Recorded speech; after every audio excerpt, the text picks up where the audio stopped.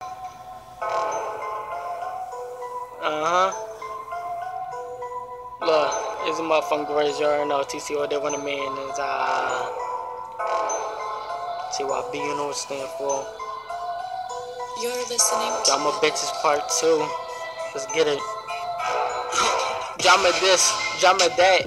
Every day, what's up with that? Y'all nigga play a lot. I shouldn't fuck with you. That's what a drama do. I'm so tired of this lifestyle. 30 on me and 30 with you. And nobody got nobody ain't trying to fight now. We find it now. We gotta put pressure. Nigga wanna fucking hush her. Then now nigga trying to point to upsets now. Then make a goofy bitch pipe down. Oh damn. Oh wow.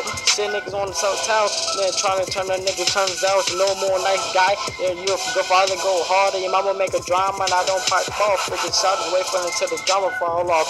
Man, it seems like when I say something, she thinks I'm talking about her. So I might as well say something about it. But she always calling up my ear and saying, yo, you can't do this and couldn't do that. Man, what's up with that? Man, you goofy bitch. You want a goofy hit? Well, okay, let's restart that shit. Well, man, it's crazy. Man, you saying now I can't go into my girlfriend party? Nigga, one that started was it's gonna be a second year, dude, with my girl, birthday in the year.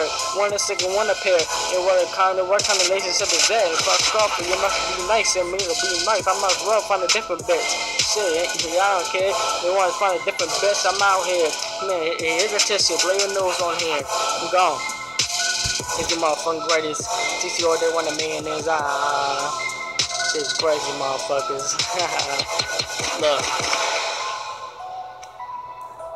Ah, just get it. You already know.